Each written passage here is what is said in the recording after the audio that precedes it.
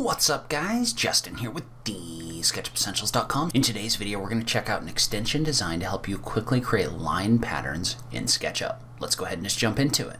Alright, so Scribbler is a SketchUp extension designed to help you quickly create different line patterns inside of SketchUp. And so you can see how with the examples here that basically what this does is this take line this takes lines and edges and it creates patterns along those lines and edges.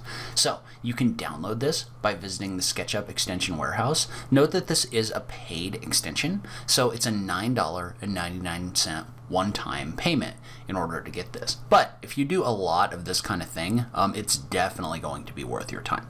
But let's take a look at how it works. And so what I've done is I've downloaded and installed this extension inside of SketchUp. And so when you pop it up, it's going to give you four options in the Scribbler menu bar. So basically what you do, it's very simple, is you select an edge, and then with whatever pattern you want selected, you click on this button right here to scribble. And so notice what that does is that comes in here and that creates a pattern along your shape. So let's say that I wanted a different pattern. There's an option over here to select a number of the pre-built patterns that are in here. So for example, let's say this one, I wanted it to create more of a bush shape. You just click right here and it's going to create that pattern as well.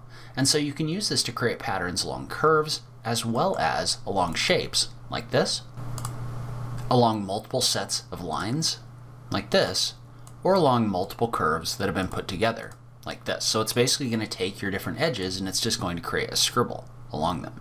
And so these are all fairly customizable. So first off, let's say that you get a scribble that you don't like. And so if you get a scribble that you don't like, this button right here is going to allow you to select it and then click in order to create a random scribble again, like this.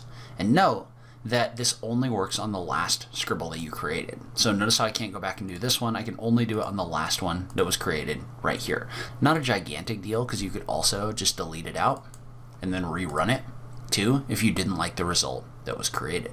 And so let's take a look at the different patterns that are contained inside of here. And so there's a number of different patterns built into this, right? The bushes, the clouds, the fuzzies, all of that stuff. But you can select those by going into the settings. You can also adjust things like your scale, as well as your size and your amplitude and other things like that. Then you just go back and run this. So we've got seven different patterns contained in here that are going to allow you to do different things. And note that those are customizable. So let's say, for example, that you didn't want this cloud um, to have quite a big, quite such a big diameter. You could adjust this so that your minimum puff diameter is like two, your maximum is six, and it's going to create a smaller pattern in here like this. So notice how this time when I ran it, I'm getting a smaller pattern in here.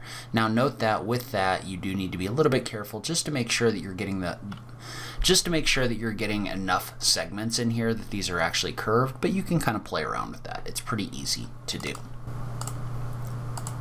And so if you do any kind of like landscaping or plant design, this could be a very helpful tool for creating things like trees or bushes for your diagrams, other things like that.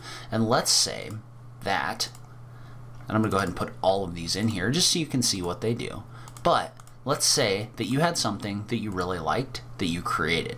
So for example, let's say that I created a zigzag in here that I just really liked, right? So I'm gonna move this over and we'll just create a custom one really quick. So we'll say our scale on this one is gonna be one and a half and we'll go ahead and adjust our distances a little bit. So four and seven, and four and seven. Not a giant change, but let's say that you really liked that particular setting so for whatever reason. Well, what you can do is you can go up to the Scribbler menu right here and under style, you can save this style as a custom style. So I'm going to call this spiky large. And so when you do that, the spiky large style will now show up in your Scribbler style dropdown right here. So notice how we've got the defaults in here, but I've also got the large one in here. So if I set the spiky large as a default, or if I select that one, Notice how the settings for that spiky large are now loaded in here. I can use this in order to create a new spiky pattern inside of SketchUp. So I will link to this extension in the notes down below. Leave a comment below, let me know what you thought, if you might see yourself using something like this. I just love having that conversation with you guys.